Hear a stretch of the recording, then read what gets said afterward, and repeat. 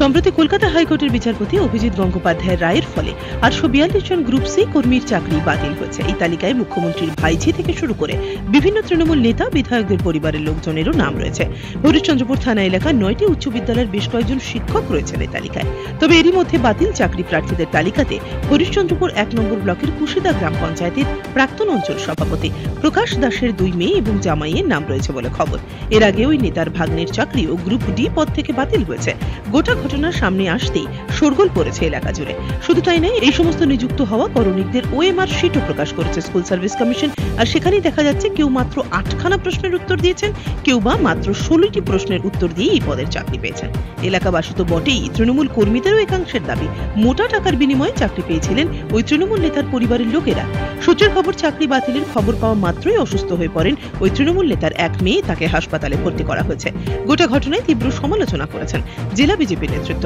উত্তর মালদা সাংগঠনিক জেলা বিজেপির সম্পাদক রূপেশ আগরওয়াল বলেন, শিক্ষক থেকে শুরু করে অশিক্ষক কর্মী পুরো নিয়োগটাই দুর্নীতিগ্রস্ত। আজ তৃণমূলের যে নেতারা হাইকোর্টের রায়কে স্বাগত জানাচ্ছেন, বুঝতে হবে তাঁরা কাটমানির ভাগ পাননি। চাকরি প্রার্থীরা সাতশো দিন ধরে আন্দোলন করছেন আর অযোগ্যরা টাকার বিনিময়ে চাকরি করছেন। জেলা তৃণমূলের মুখপাত্র শুভময় বসুর কথায় বিচার ব্যবস্থাকে আমরা সম্মান করি। কেউ যদি বেআইনিভাবে কিছু পান, দল সেটার দায়িত্ব নেবে না। আদালত যেভাবে রায় দিচ্ছে, সরকারি প্রতিষ্ঠানগুলো সেভাবেই পদক্ষেপ করছে।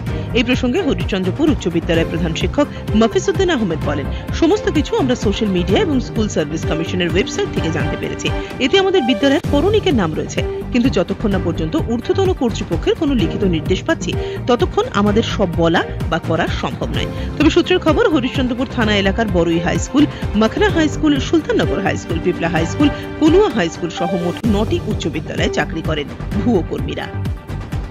শুনেছি যে ওদের চাকরি চলে গেছে।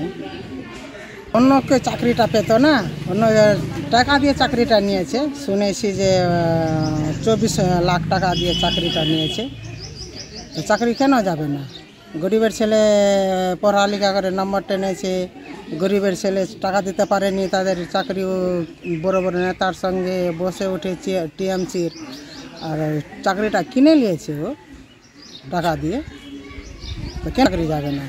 আমরা, আমি শুনেছি যে টাকার জোরে নাকি চাকরি নিয়েছে। হ্যাঁ? টাকার জোরে চাকরি, ঘুষ দিয়ে টাকা চাকরি নিয়েছে। যারা পাস করো তারা চাকরি পায়নি। এই শুনেছি।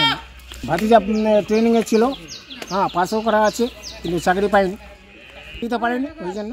তৃণমূলের নেতা আছে। শুনেছি বা দেখেছি মোবাইলে। লিস্টে ওর নাম আছে দুটা মেয়ের আর জামাইটার। আমার তো আগে দু মাস আগে ওটা ইয়ে হয়ে গেছে। সাসপেন্ড হয়ে গেছে বা ওটা শেষ হয়ে গেছে। এটাই শুনেছি। হ্যাঁ তো এগুলো অবৈধ চাকরি ছিল টাকা দিয়ে নিয়েছে। এই হচ্ছে ব্যাপারটা। আমাদের যে বর্তমান শাসক দল এই শাসক দলের সময় প্রত্যেকটা জায়গাতে প্রত্যেকটা ক্ষেত্রে ভুয়ো শব্দটা ধরা পড়ছে।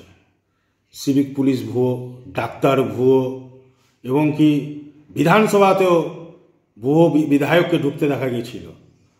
আর যেটা স্কুল শিক্ষক, এটা তো পুরো প্যানেলটাই বাদ পড়ে যাবে। অভিজিৎ গাঙ্গুলি যিনি জাস্টিস আছেন, বিচারক আছেন, তিনি বলে দিয়েছেন যে পুরো ঢাকি সমেত পুরো প্যানেলটাকে বিসর্জন দিয়ে দিব তো আমাদের প্রকাশ দাস তো একটা চুনোপুটি। ইনি তো নিজের আত্মীয় স্বজনদের, নিজের মেয়ের, নিজের জামাইয়ের, নিজের ভাগনার চাকরি করিয়েছেন। তৃণমূল কংগ্রেসের যারা এই কাটমানির ভাগটা পায়নি, তারা একমাত্র স্বাগত জানাচ্ছে। তারা যদি কাটমানির ভাগটা পেত, তাহলে পরে তারাও স্বাগত জানানো না। পুরো সিস্টেমটাই এদের কারাপশন হয়ে আছে। দেখুন, বিচার ব্যবস্থার প্রতি আমাদের পূর্ণ আস্থা আছে। বিচার ব্যবস্থা যখন এইসব নিয়োগকে বেআইনি নিয়োগ করে, বলে তাদের চাকরি বরখাস্ত করতে বলেছেন। সংশ্লিষ্ট সংস্থা, অর্থাৎ মধ্যশিক্ষা পর্ষদ বলুন এসএসসি বলুন, তাদের চাকরি বাতিল করেছে। এটা কোর্টের নির্দেশে হয়েছে। এখানে আমাদের কিছু বলার নাই। কেউ যদি বেআইনি পথে কিছু করে থাকে, তার দল কোনো দায়িত্বভার তার দল নেবে না। কারণ আমরা স্বচ্ছভাবে হাইকোর্টের কোনো কাজ, হাইকোর্ট যখন যেটা ডাইরেকশন দিচ্ছেন, আমাদের সরকার সেই কাজগুলো করছে। তো এই প্রেক্ষিতে দল কারও পাশে দাঁড়ানোর বিষয় নেই। আর বিরোধীদের কোনো অভিযোগের উত্তর দেওয়ারও ব্যাপার নেই। যেটা হাইকোর্ট করবেন এবং সেই অনুযায়ী সরকারের যে সমস্ত প্রাতিষ্ঠানিক জায়গা, তারা সেই কাজগুলো করবে।